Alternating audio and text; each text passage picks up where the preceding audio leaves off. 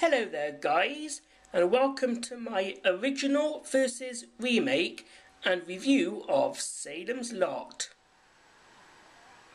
When Ben Mears was young and living in Jerusalem's Lot, also known as Salem's Lot, some friends got him to do a truth or dare and take something from the old Marsten house that overlooks the town as part of a rite of passage. While in the house, snooping around, witnesses a murder that happened there. Now, as an adult and a very successful novelist, returns to his childhood home of Salem's Lot, he seems very frightened and attracted to the Marsten house at the same time. He finds out if the house is available for sale or rent, although someone else has taken the house, a man with the name of Richard Straker and his current unseen partner known as Kurt Barlow. Straker owns an antique store and gets delivery men to collect a valuable sideboard, which in fact is the vampire Barlow sleeping inside a crate style of coffin. They are told to take it to the Marsten house while Straker is away on business. When delivering the so-called sideboard, it starts getting very cold in the cabin of the van. Later, the town is overrun by vampires, and it's up to the novelist Ben Mears and a young horror fan to save it from damnation.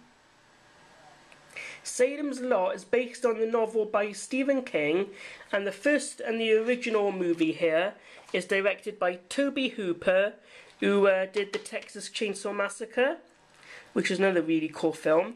But in my opinion, the original film is the best, and the sequel is really good too, which is called A Return to Salem's Lot, which I'll do a review of in the future few days.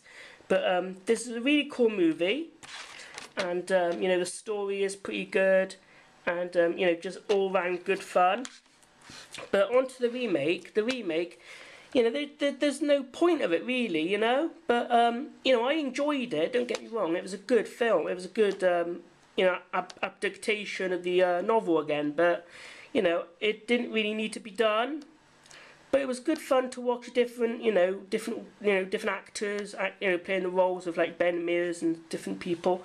Because uh, in this one you've got Rob Lowe playing the character of um, Ben Mears, like in the uh, original film it was played by um, David Soul. Um, in the remake, you have Andre Braugher, Donald Sutherland, Samantha Mathis, Rutger Hauer, and James Cromwell starring in it. And um, Rutger Hauer plays by uh, and um, and uh, Donald Sutherland plays um, Straker.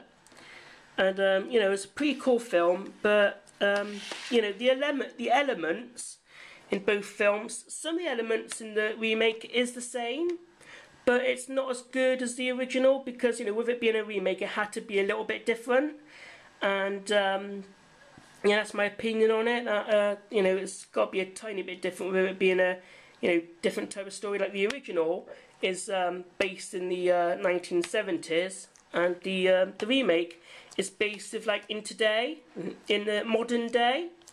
Um, you know, I'd like to know what you think of these films in the comment section of this video. But yeah, this is my um, original versus remake and review of Salem's Lot. So uh, I hope you enjoyed this video. So until next time, goodbye and take care.